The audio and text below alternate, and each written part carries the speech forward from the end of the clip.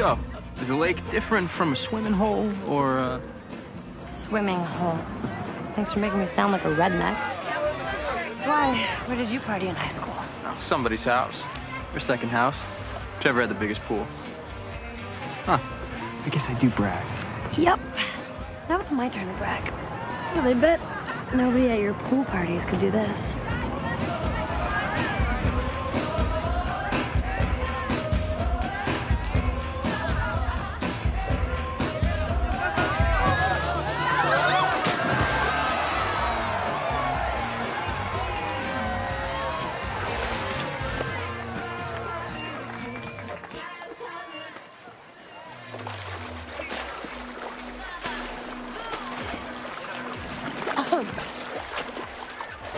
Um, Jeremy? Oh my god. Elena! Sorry to interrupt what I'm sure was a heartfelt display of true love, but I'm Jeremy's sister.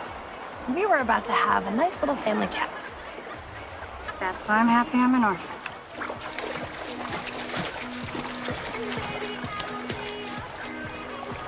You invited the girl that I attacked? No, I brought the girl Caroline compelled to forget you attacked.